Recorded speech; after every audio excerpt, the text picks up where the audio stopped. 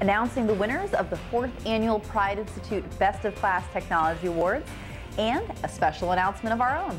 It's Friday, June 1st, and this is DPR Friday.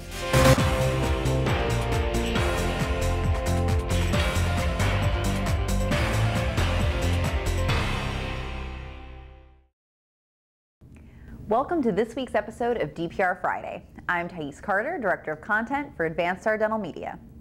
The last several years, Dental Products Report has been honored to serve as a media partner for Pride Institute's Best of Class Technology Awards. You may recall from previous years that the winners of this prestigious award are chosen by a distinguished panel of technology experts. Led by Best of Class founder and Pride Institute president Dr. Lou Shuman, the panel includes Dr. John Flucke, Dr. Paul Feuerstein, Dr. Parag Kachalia, Dr. Marty Jablow, Dr. Larry Emmott, and Dr. Titus Schleyer. For detailed information on the unconventional selection process, you can check out the June issue of DPR or visit dentalproductsreport.com. Over the course of the summer, we'll be offering extended coverage on each of the winners, but for today's episode, here's the list.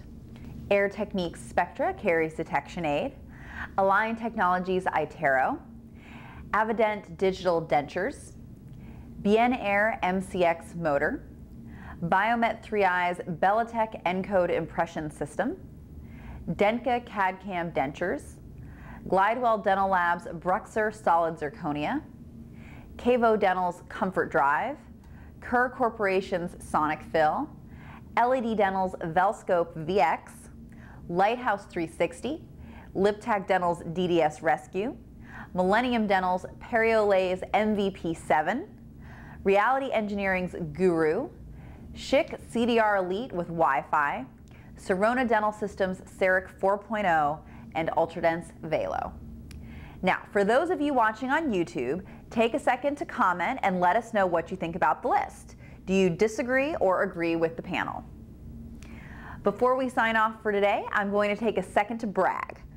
DPR Friday is a 2012 Telly winner, taking home a bronze award for top internet online program, segment, or promotional piece.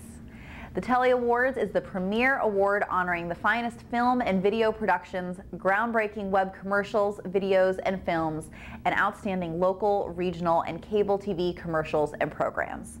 Its mission has been to strengthen the visual arts community by inspiring, promoting, and supporting creativity. The 32nd annual Telly Awards received over 11,000 entries from all 50 states and five continents. So yeah, we feel pretty good about that.